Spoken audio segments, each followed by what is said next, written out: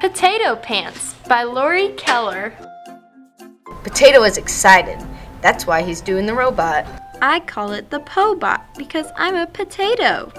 He's excited because today, for one day only, Lance Vance's Fancy Pants store is selling potato pants.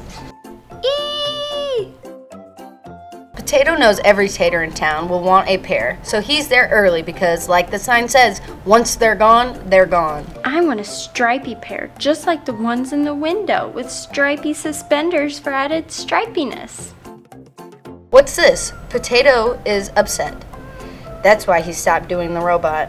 He's upset about the eggplant, who just walked into Lance Vance's Fancy Pants store. What's he doing here? Eggplants don't even wear pants.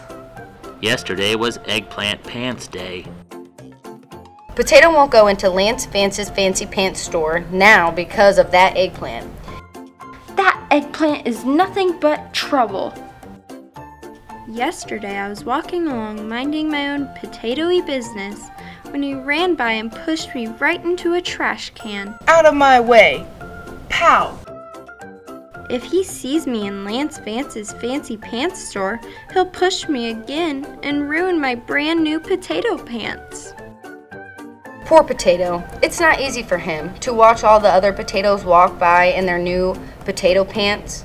I love my new potato pants. We love us too. Mine have big pockets. Mine have polka dots and ruffles. Mine are kind of scratchy.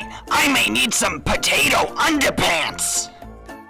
Potato is losing his patience, waiting for that eggplant to leave Lance Vance's Fancy Pants store. What's taking him so long? And if yesterday was Eggplant Pants Day, why is he here on Potato Pants Day? Potato Pants Day? That's ridiculous! Potatoes don't even wear pants! It's not ridiculous, grocery store lady. Ooh, the grocery store. They have potatoes. Maybe they've got potato pants too. What a clever potato. He figured out a way to avoid that eggplant and still get his potato pants. Hello, grocery store? Do you have any potato pants? Potato pants? Yeah, you know, pants that are made for potatoes. We don't have potato pants. Well, maybe in your store you call them something more like spud slacks, tater trousers, yam chaps. Any of those ring a bell? Heck, I could probably squeeze myself into a pair of cucumber cords if I had to. Do you have any cucumber cords? Sorry, sir. No clothing here, just food. Potato is not giving up. He's sure there's a way to get potato pants without having to face that eggplant. Think, think, think. Don't panic. I still have time. Actually, you don't have much time. There's only one pair of potato pants left on the rack. Only one pair of potato pants left on the rack. What will Potato do now? Potato pants? Out of my way!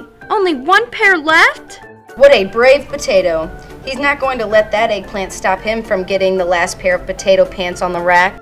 Potato pants? Where are they? I need potato pants. Bam! Rip! Yikes! Potato may be in for more trouble than he bargained for after that entrance. Oh no, Potato is too late. Where are they? Sorry, I got the last pair on the rack. Okay, okay. Potato, let's take a moment here. Come on, deep breaths. Inhale, exhale, inhale, exhale. That's it. Think of the puffy clouds. Inhale, exhale. Oh, forget it. This is exhausting. Let it out, Potato. That eggplant ruined everything. It's his fault I didn't get potato pants. He has brand new perfect eggplant pants, but I'm totally pantsless. It's not fair. Actually, his eggplant pants aren't perfect anymore. You hit him with the door and they ripped all the way up the back. You can see for yourself. Here he comes. Oh, Potato, it's been nice knowing you. I've been looking for you, Spud. Potato is scared. If he had potato boots, he'd be shaking in them. I came back here to do what I should have done yesterday. What, turn me into mashed potatoes? I'm here to apologize. I'm sorry I pushed you. I was in a hurry to get these eggplant pants. I hope you'll forgive me. What? He's not turning me into mashed potatoes? Potato is shocked. His starchy little head is spinning. Forgive him? Why should I forgive him? He pushed me into a trash can. Er, but I ripped his brand new eggplant pants. Ugh, I don't know what to do. So will Potato forgive that eggplant or not? I forgive you, eggplant. And I'm sorry for ruining your new eggplant pants. Excuse me, we can fix your eggplant pants, and they'll be good as new. And the sale is over, so we can have the potato pants on the mannequin in the window. Do you like those? Like them?